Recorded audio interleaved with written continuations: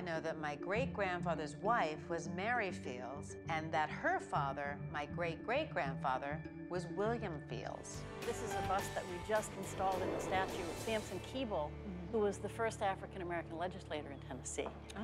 And I thought you might like to see this first. We're very proud of this. Sampson Keeble, first African American representative to the Tennessee State Legislature, 19th century. Look at the W. William A. Fields? Yes. Wow. That would be someone you know.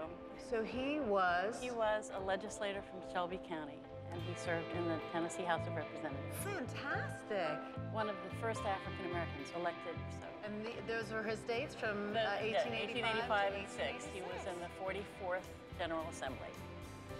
Phenomenal. Is this is th- this is where he actually would come to work? Yes. And wow. In this very building, and Oh it was very much like this.